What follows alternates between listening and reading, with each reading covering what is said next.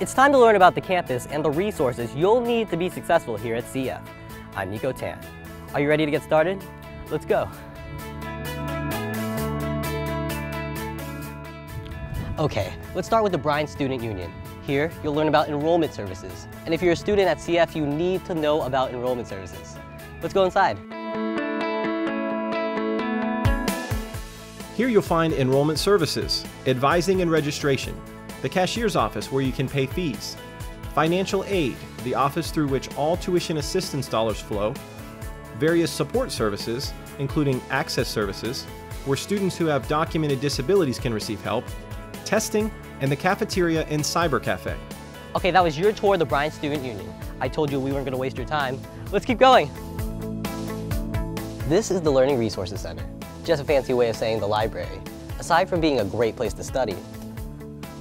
This is where you could come for help if you're taking online classes. The Writing Center and the Tutoring Department are here as well. Now isn't he cute? As you're learning your way around campus, you'll want to know about this building.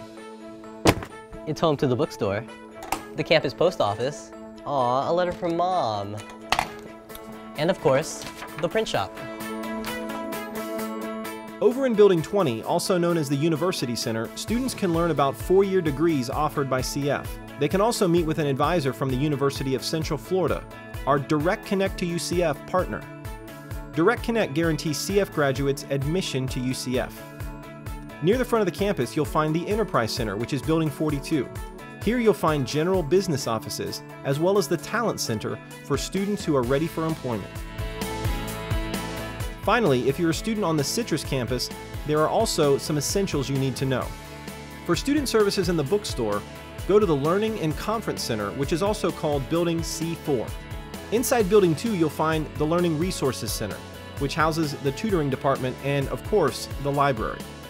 Well, that's your quick tour of the essentials here at CF so you know where you're going and what you're doing. I'm Nico Tan, and I'll see you around.